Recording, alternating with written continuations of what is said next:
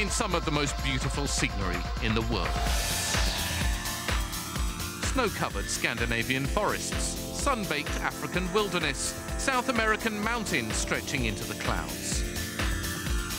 Now imagine blasting through it all in a two-man guided missile. One ton of steel and alloy, fuel and air, flesh and bone.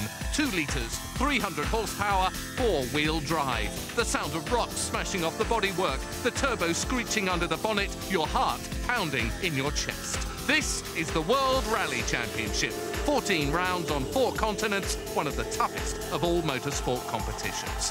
To beat your rivals, first you have to beat the clock. In a race against time and the elements, every second counts. On gravel and asphalt, sand and snow, from sub-zero to searing heat, you're pushed to the limit and beyond. How do you sum it all up? WRC.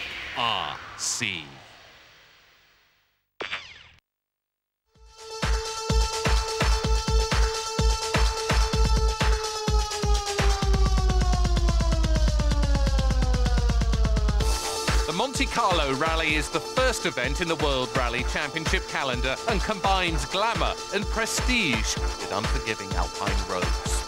One of the reasons it's so special is the sense of history behind an event first run almost a century ago. Another is the fact that a stage can start on dry tarmac and finish on thick snow. To win Monte Carlo means something special, even to World Rally Championship veterans.